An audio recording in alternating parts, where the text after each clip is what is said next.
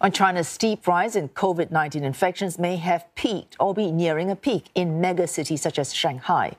But authorities are bracing for the coronavirus wave to wash over rural China soon. Experts warn the majority of Shanghai's 25 million people may have been infected during the recent surge. State media, though, playing down the severity of the outbreaks despite obvious stresses on the healthcare system. COVID 19 patients have crammed hospital corridors in Shanghai as a new wave of the virus rages through the city. Reports say hundreds of patients, mostly the elderly, are lying on gurneys in public areas as emergency wards have reached capacity. A senior doctor says 70% of the megacity's population may have been infected since last month. Medics in several cities continue to report that they are treating a steady stream of coronavirus patients, despite testing positive for COVID themselves. Despite a clear surge in cases, Chinese officials have been quick to downplay the situation, claiming that just 22 COVID related deaths have been logged since December. Beijing's reversal on three years of hardline curbs has unleashed an uncontrollable spread of the virus, but it has also allowed normalcy to return. Packed trains, crawling traffic, and bustling airports. For many, it signifies the perfect start to the new year, albeit a long overdue one. 就是现在大街上那边这么多人，这么多人，然后呃非常有生活烟火气，然后我们也玩得很开心，找回了之前节日的感觉。感觉大家回到了以前的生活，感觉还是很好的。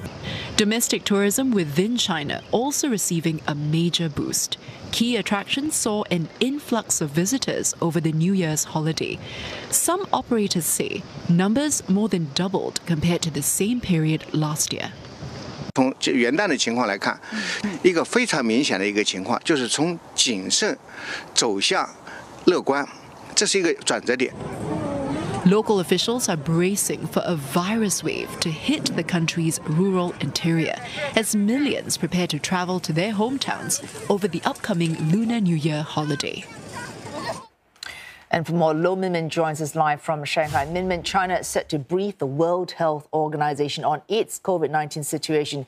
Although the WHO already urging China to be transparent on its health data, is the UN's health body likely to get reassurance on that front? The WHO is looking for specific data on disease impact, including hospitalizations, ICU admissions, as well as death toll.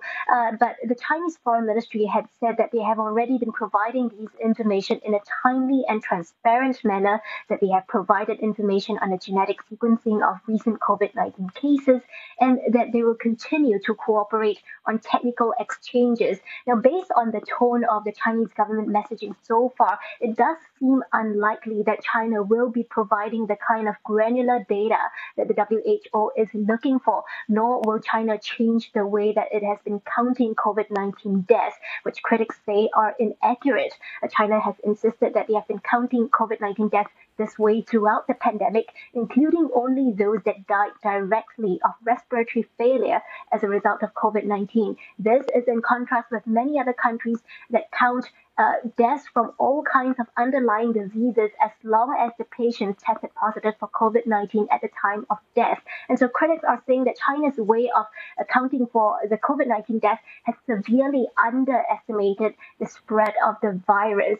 Uh, but so far, for instance, today China reported less than 5,000 cases and only three deaths, but anecdotal evidence suggests otherwise. Crematoriums are running out of spaces for bodies, and doctors in public hospitals that I spoke to told me that most of the doctors and nurses they have already gotten COVID-19 or are recovering from it, and they are still severely short-handed, especially in the emergency outpatient department, where we're looking at wait times of around four hours in Shanghai.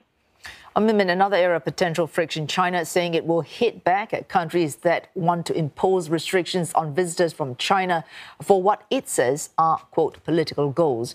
What does that mean, and what could China actually do in terms of retaliation? Well, currently we are only hearing verbal uh, hit back at these measures. Uh, Chinese Foreign Ministry calling them a form of political manipulation and discrimination against Chinese travelers, saying that there is no grounds for special uh, measures to be placed on Chinese travelers uh, based on the unfounded fear that China could spread new variants of COVID-19 to other countries, given that most variants found in China have already been observed in other countries and new variants could occur anywhere. Uh, but so far, you know, it's unlikely that China will take concrete retaliatory measures so soon after it had just announced that it would lift quarantine restrictions for inbound travelers. But one way that China could possibly retaliate could be to use state media to fan the flames of nationalism to encourage a travel boycott to those countries that impose these travel restrictions. Remember that the year before the pandemic hit, global spending by Chinese travelers was at $250 billion that is a lot of tourism money at stake, and it could be an economic leverage to ensure that other countries don't anger Beijing too much. Oh, thanks for that. Low Min Min reporting live to us there from Shanghai.